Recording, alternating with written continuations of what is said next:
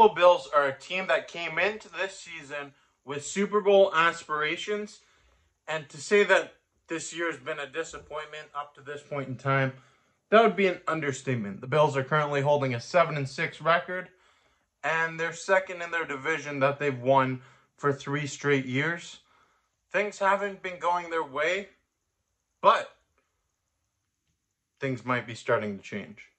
Welcome back to the Bills Bunker. I'm Jake Varco, and today it's Victory Monday. The Buffalo Bills are coming off of a massive win at Arrowhead Stadium against the Kansas City Chiefs with an improved record up to 7 and 6 on the season. And in this video, I want to talk about why the Buffalo Bills appear to be back. But before I dive in, I'd like to take a moment to encourage you to subscribe to the channel if you haven't yet. Check out other content on the channel and stay tuned for more stuff coming your way. Lots of reaction videos. To be at the game on Sunday, so I'll be doing some interviews with fans beforehand. Lots of fun stuff ahead of the Cowboys Bills game, so stay tuned for that. But the Buffalo Bills just escaped Arrowhead Stadium with a 20 to 17 victory over the Kansas City Chiefs in a much needed win, a game where the Bills really helped keep their playoff hopes alive and improved their chances of sneaking into that seven spot. The Bills got helped out a little bit by what was definitely a penalty uh, taken by Kadarius Toney. Toney lined up offsides on a play that ended up being a touchdown, but it got reversed due to the offside. Offensive offside cost the Chiefs big time in this one. That game right there is a game that the Bills have played multiple times this year. However, this time, they're finally on the right side of it. Thank you for all your power and your grace, dear baby God. Amen. I don't want to overstate what I'm selling to you right now, but when I look at the Bills and what they've done over the last three games, so you go back to that New York Jets thumping at Highmark Stadium. That was nice. It's the lowly Jets, though. It doesn't matter. Whatever. It's a win. It's a game you should have won in week one as well. Then, the following week, at Philadelphia. Philadelphia, one of the best teams in the NFL, one of the best records in the NFL. Went to the Super Bowl last year. They have the unstoppable tush push. Well, the Bills lose, but in overtime, in thrilling fashion, in what was a game of the year candidate to this point in time. That game was really Josh Allen stepping up and playing like a warrior, playing one of his best games of his career, but ultimately losing it in heartbreaking fashion. But then you have the bye week, and that bye week, a lot of stuff happened. You had the Von Miller incident, uh, reports about his situation, and then you have reports about Sean McDermott and comments regarding 9 11.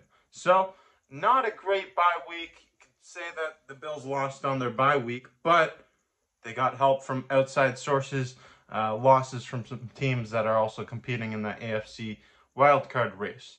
And then you go to this week where the Buffalo Bills face off against the Kansas City Chiefs at Arrowhead Stadium and they get a much needed win 20 to 17 escaping just barely. But it's a win. And with that win the bills improved to 7 and 6 on the season. And if you just look at the body of work over the last 3 games really ever since Ken Dorsey was fired the bills offense has woken up they're awake and they look dangerous. This looks like a potent team, and it looks like a team that nobody wants to play against.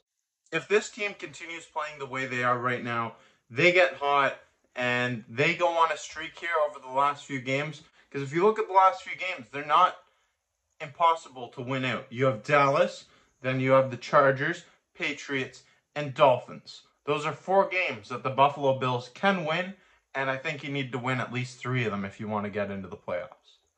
I'm just saying, the Buffalo Bills, what they've done the last few games, they look like their old selves.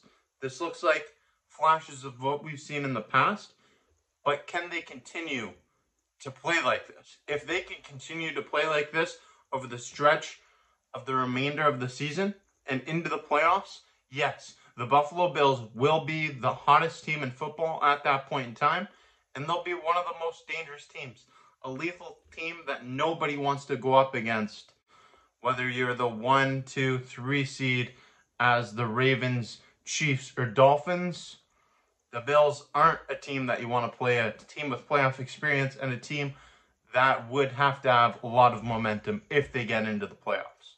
Josh Allen has looked like a warrior over the last few weeks, and if the Bills are going to really make this playoff run happen and have some success come from it, Josh Allen's going to need to continue doing Josh Allen things. It's going to be interesting to see. And like I said, next week, Sunday, America's game of the week, the Dallas Cowboys at Highmark Stadium against the Buffalo Bills. It's a game I'll be at. It's a game I'll be reacting to live from Highmark Stadium. So stay tuned for that video. A good way of doing that, if you haven't yet, is clicking that subscribe button and hitting the notification bell to be notified every time new content's released right here on the Bills Bunker. So thank you for watching this video. Stay tuned for more content coming your way. I'm Jake Varco.